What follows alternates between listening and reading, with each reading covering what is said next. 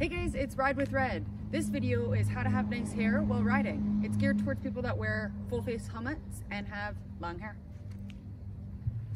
I don't know how many times I've showed up to an event, pulled my full face helmet off, and thought I looked good, but I look like this. Hey! What? Is there something wrong?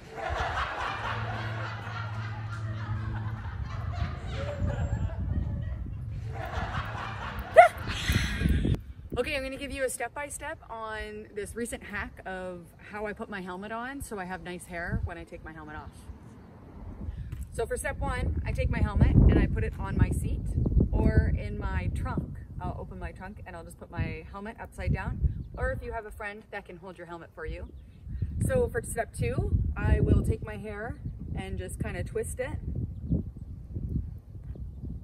But I wanna make sure that you kind of flatten it out as well. So it's not like And then step three, you dive in.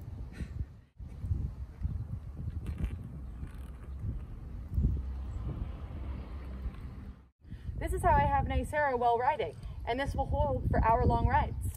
But the fun part is when you take it off.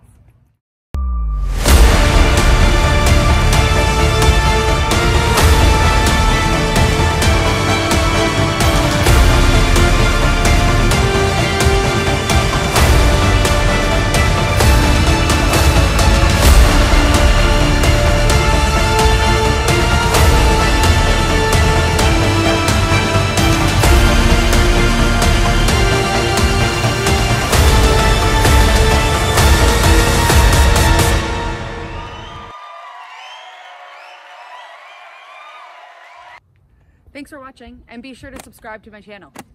Bye!